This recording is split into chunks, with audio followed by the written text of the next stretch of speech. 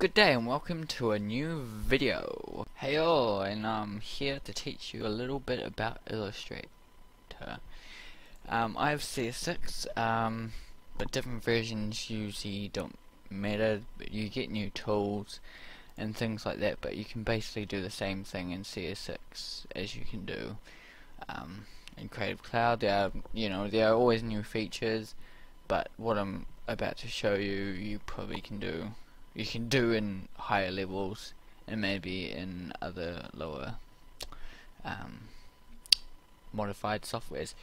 Um, so we're going to go ahead and create a new file. Um, there's a few things here um, we can look at. So the few things here is the profile, which is basically if you want it for print, you want it for web, you want it for like your devices and things, video and film, basic RGB or a Flash. Um, depending on what you're working on, you might want to change this, um, but standard, it's usually on custom or print or something, is usually standard. Um, and then we can start off here with a number of artboards, whether we want some, if it's something small we're working on, or if it's something bigger, if you want more artboards, and you can select how you want your artboards to be laid out. Um, so yeah, artboards, you can create things on artboards. You can, yep, we'll teach you. But for now, we're just doing an A4 piece, and there's some advanced options like color mode. CMYK is good for printing. RGB is good for screen. Uh, raster effects, your high definition, 300 ppi um, for screen just 72 depending if you want to put it in 72 that would be something to save you some space um, megabyte space or um, things like that. But I usually just go for the high just in case I do want to print it and get things out there. Um, and then the preview mode is default so you can have it on pixel or overprint. Um, I'm not too 100% sure about these. I know that overprint will probably be like what it looks like printed, um, and pixels as in like a Photoshop view or something like that. Um, so yeah, we're just gonna go ahead and create this file, and then a clean A4 page. Um, the things I will cover today um, will just be how to create something um, with the pen tool. So you have a bunch of tools around here. Um, you know, on the toolbar side, and you can lay out how you want your tools. Um, for now, that's not something you don't really need um, to know. Something you learn later of how you want things laid out.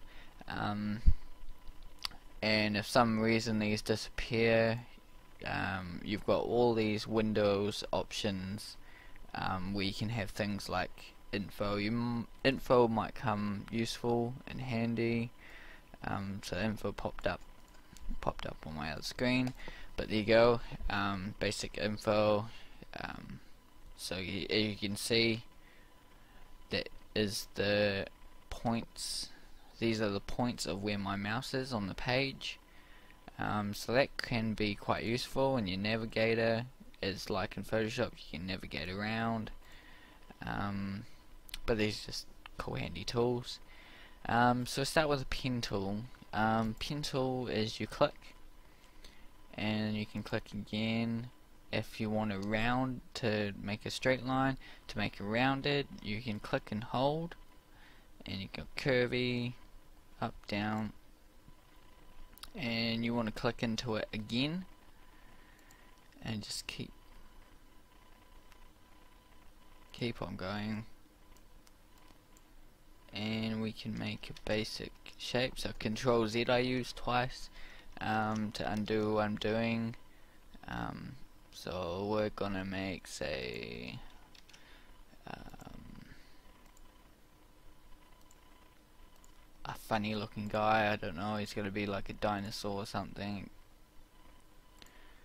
Um, what I do is tend if you want things different colors you have to break things up in shapes um, to have things different colors So we're just going to do this funny little guy just to demonstrate how this tool works. Um, and there you have a closed shape. See I closed it by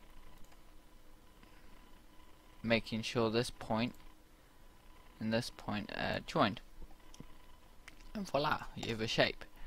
Um, there's another way to make shapes. There are shapes all here. You can make star shapes if you want. Um, we're going to make star shape for his eye. Um, and then you can go ahead and fill. Um, now we can... Things are on layers. Um, so if we go... If we go to window, um, sometimes this may be open, default may be open, sometimes it's not. Um, but you'll see a layers panel which is here this one here um, see I've set these ones to um, set up the way I like it um, but you can set this anywhere you like um, like right there or doesn't matter but you do have your layers panel and here you can have things on top of each other change the direction. So if you put this um, so if you right click arrange bring to front it will take what was now what is in front of it has been moved behind it because we have brought this object to the front. Where if we arrange send to back we have now sent this object to the back but now this one is in front as you can see in the layers panel this one is in front of this one. To make this a little bit more clear, I'll go and do a line. Whoops. Line tool, sorry. You can draw a line. If you need a straight line, you can use the line tool. Um, also, you can use a brush if you so wish. Um, and you can fill that oh I think you can edit that. Yeah you can edit that to make it a closed shape if you need to. Um, to close this up. Um, you can uh, join those parts by shift and clicking these parts the two vector points you can join them. Um, so a path in here is made out of all these vectors, um, vector points, um, which you can, if you need to restart for some reason, you can delete them and re-add them by clicking um, them again. You can edit them whether you need to move them or if you want their point not to be sharp you can um, tweak them so they look more um, friendly as well. There's those options. Um, uh, let me see I'll give them some teeth.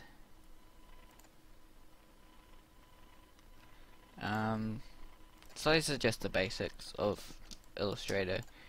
Um, and see now we have more to deal with on the layers so there are things uh, we can do to make it less complicated. Um, so say we want this behind him. He's holding a stick or something I might go ahead. Say if I hold shift to some an object while I'm scaling it will scale it right?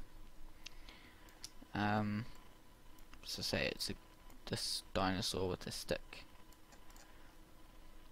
I can go ahead and fill the shape so I made that an object.